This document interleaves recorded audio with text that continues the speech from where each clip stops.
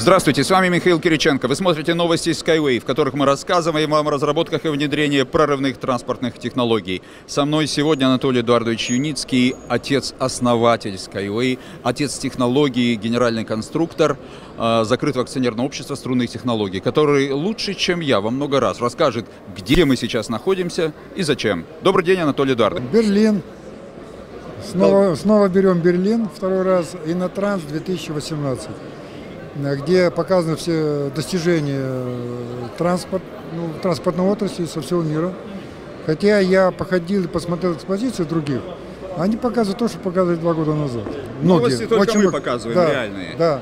И э, мы крутую машину показали, и когда наш перевозчик э, привез, а это было зачехлено, ну, это немецкая компания, которая перевозила наш э, подвижной состав сюда, они говорят, белорусы привезли какую-то ракету. И вчера тут народ ходил, покажите нашу, покажите ракету, покажите ракету. А ракета неэффективный транспорт, поэтому это не совсем правильная аналогия. Мы показываем юнилет, высокоскоростной э, юнибус, который развивает э, скорость 500 э, км в час. Это уникальная машина, она аналогов не имеет. Если перевести электрическую энергию в топливо, в условно топливо, то машина шестиместная будет расходовать на 100 км пути 8 литров топлива. Это как обычный легковой автомобиль при скорости 100 км в час. А, а при увеличении скорости мощность сопротивления аэродинамического возрастет пропорционально кубу скорости. Поэтому если со 100 км в час скорость увеличить до 500, то это 5 кубе. Мощность аэродинамического сопротивления увеличится в 125 раз. Поэтому не так легко, как кажется, получить высокую скорость. Например, аналогом является это электромобиль. Поэтому с автомобилем это правильно сравнивать. Допустим, Бугатти. Э, двухвесный Бугатти Верон стоит 3 миллиона евро.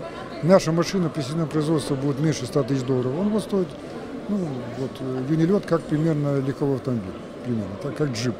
Так? А, он для получения скорости 500 км в час должен иметь мощность двигателя 3000 киловатт. Сейчас у него 1500 лошадиных сил, только 430 км в час. Да? И расход был 100 литров топлива на 100 км пути. Поэтому аналогов нашей машины нет. И мы ее вот показываем, этого красавца. Это э, машина сделана не дизайнерами, как обычно говорят, вот автомобиль сделал такие-то, такой-то дизайнер. Да, и маркетолог. Это сделал инженер. И форма э, юнилета, она обусловлена аэродинамикой. И продуктов вот, в трубе явно. Безусловно, так продавали мы не раз. И это экспериментальные данные CX, это 006. Бугатти, э, он не может двигаться без антикрыла, потому что иначе перевернется. Вот если взять с антикрылом, его CX 0,42. То есть оно еще ухудшает его аэродинамически. Безусловно, потому что прижимает э, да. зад, иначе взлетит, так? И, э, то есть мы улучшили аэродинамику по сравнению с вот крутым автомобилем, спортивным, да, спортивного типа, в 7 раз. И при этом у нас нет пневмашины, которая катится по асфальту, и там тоже большое сопротивление к движению при высоких скоростях. Вообще пневмашина при малых скоростях еще более-менее нормально работает, но с учением скорости ее нелинейно сопротивление увеличивается очень сильно.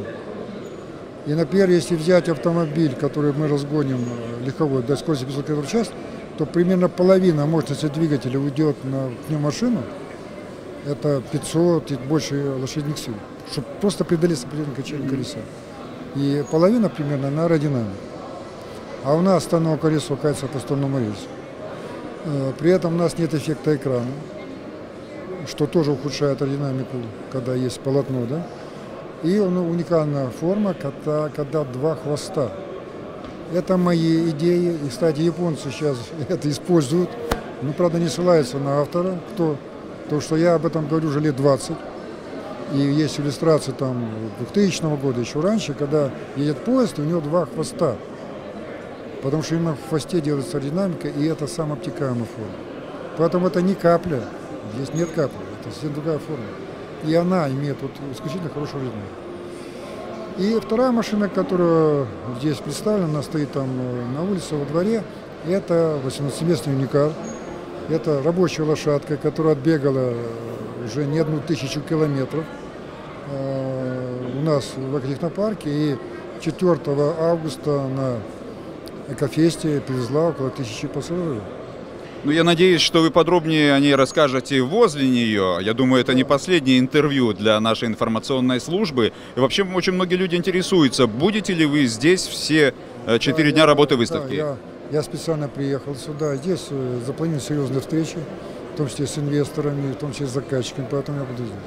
Вот э, вы э, предварили мой следующий вопрос. Какова цель участия? Ведь вроде бы уже у нас в кармане реальные адресные проекты и начинается реальная стройка в Объединенных Арабских Эмиратах. Вот цель участия в выставке хотелось бы узнать у вас. Э, Мы слабо продвигаем, к сожалению, наш продукт, тем более он инновационный. Посмотреть, как там Siemens делают другие компании.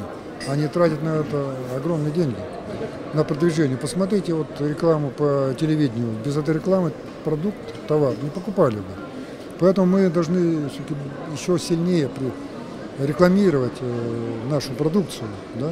А наша продукция на самом деле не там мотор-колесо или там не аэродинамика исключительно, или там салон. Нет, на самом деле мы должны продвигать и продавать услугу транспортную, услугу более комфортную, более безопасную, более э, экономичную и более доступную. Видите, там нет технических терминов. Ни марок стали, ни диаметра колеса, ни мощности двигателя. Все это вот и та же хорошая динамика на что направлена? Чтобы меньше тратить энергии, топлива, чтобы был билет дешевле.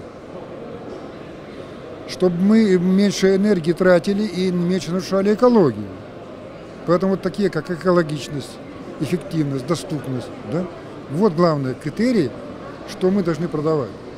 И мы об этом должны говорить. И когда заказчик это видит, то он начинает заказывать нашу технику, как более эффективную. понимаете?